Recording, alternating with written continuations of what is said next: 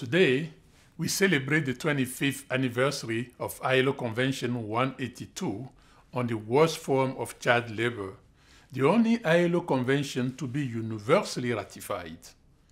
Yet, 160 million children are still in child labor. That's one in 10 children. Of them, 79 million are in hazardous work. Two years ago, the leaders gathered in Durban and declared that ending child labor must be a central goal of economic and social policies. That's why our message today is let's act on our commitment end child labor. We must turn this universal commitment into universal action now.